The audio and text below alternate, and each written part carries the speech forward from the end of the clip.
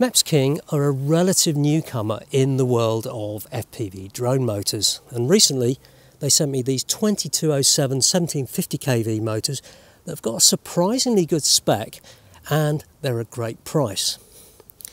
But how do these stand up when compared to the existing manufacturers? And just who are they aimed at? And more importantly, are they any good? Hello and welcome to the Whirly Bloke channel. MEPSKING, or MEPS as they seem to be commonly known by everybody, have been on quite the marketing drive for this new range of motors, the space motors. And they asked me if I'd like to take a look at them, along with loads of other FPV YouTubers. Now, there's been quite a kerfuffle about the contracts they sent out to the reviewers and some of the information that they posted on their company blog. I'll leave you to nosy around and draw your own conclusions about all this. And I'll get on with judging their products and see if this 2207 1750 kV motor is any good.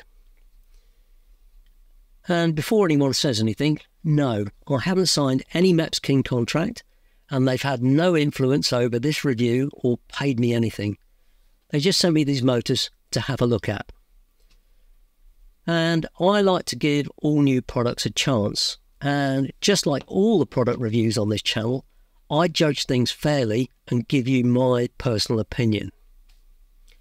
So, let's have a closer look at this. This is their SZ2207 1750 kV space motor and you can also get a 1950 and a 2750 kV to suit 4 to 6S batteries and they're available in orange like this and a rather fancy range of colours including a particularly spectacular fluorescent green. It's a unibell design with a hollow prop shaft apparently made from titanium and it uses a bolt to hold the bell in place rather than a circlip, which is what I actually prefer. Now the weight on this, let's have a quick look, see if I can get that on there. 34.5 grams, near enough. You see that? Yeah, 34.5, there we go. And it looks very well made, and the cost on this is only $20. Now, they include the usual stuff. You get a prop nut, a set of mounting bolts, and usefully they include two sizes of mounting bolt. So there's this one here, longer one, which is nine millimeters, and you get one which is eight millimeters, and that's really useful because it's going to cope with different sizes of arms. And you also get a spare bell mounting bolt, which is good, as well as these two washers. These mount up inside here. One's a traditional washer, and the other one I think is anti-vibration. I think that's what it's for. But what caught my eye on the data sheets was the efficiency of these 1750 kV motors, particularly at the mid-range throttle settings. They look pretty good. I'm not going to be running any bench tests on these, but I am going to replace the motors on one of my quads and test them out and see how they perform for real. But before I do that, let's get these under the microscope for an even closer look. So we've got the bell in all its glory. It does seem to be very nicely machined. And as you can see, it's got the hollow shaft bit difficult to tell how strong that will be. You'll only know when you've actually hit a few walls and trees. And up inside there, we've got the magnets. They all seem very nicely mounted. Again, how well they're mounted, it's impossible to tell until you've used it for quite a long time. And this has got 14 magnets around here. Say it does look very nice space. The final frontier. Hmm, looks quite nice. Let's have a quick look at the stator. Again, windings all look sort of as normal, really. Nothing spectacular, but nothing out of the ordinary. all very good. And of course, having the bolt makes it much easier to take the, the bell off if you do damage anything. And this is where the spare washers go. So you've got that vibration washer at the bottom, and then there's an actual washer that fits over the top like that.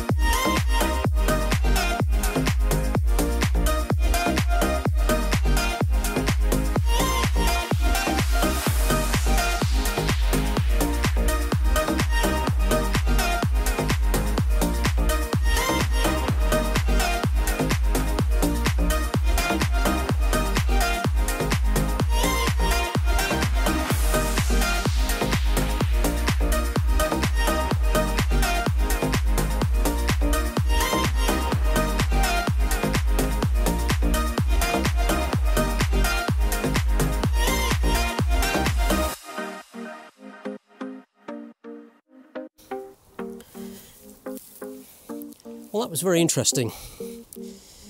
So I swapped these motors for the standard ones that I've got on my AOS 5 frame. I haven't changed any PIDs and I'm running on the same HQ S3 Ethix props that I normally use. And there's no sound or signs of any grumbles on the motors and they're running just as cool as they always do. Subjectively, these are not very punchy motors. So they're not really designed for racers or fast acro pilots. But that's to be expected. These are 1750 kV motors designed for long range running on 6S. And on the last flight I did out here, I stuck to about 50 to 70% throttle and got nearly an extra minute. And it is a bit cooler out here, so flight times will naturally be a little bit longer. Anyway, I think nearly a minute is quite impressive. So I'm going to get packed up, go home, have a cup of tea, and then I'll let you know what I really think about these motors. The MEPSKING specs for the 1750 kV motors say they're more efficient than your average 2207 motor at around 50 to 70% throttle setting, and my flight tests subjectively confirm that. Getting longer flight times is a relative measure of increased motor efficiency, so it looks like these do what they say on the box. If you're looking for a long range 6S motor for a great price, around $20, and that's £18 in the UK, then you should definitely consider these. But will they stand up to long term use? Is the bell easily damaged or the shaft easily broken? I really can't tell you yet. But I will be keeping these on this quad and I will be keeping you posted on progress. And it's going to be fascinating to see how well these new motors and other MEPSKING products do in the fickle world of FPV. And the emergence of a new manufacturer is always encouraging, and I've seen many rise and fall over the years. Ultimately, their success or failure hinges on the quality of their products and how they treat and support their customers. So, what do you think of these motors? I'd love to know your opinion on them, so do let me know. And don't forget to hit like and subscribe. Thanks for watching, and I'll see you next time.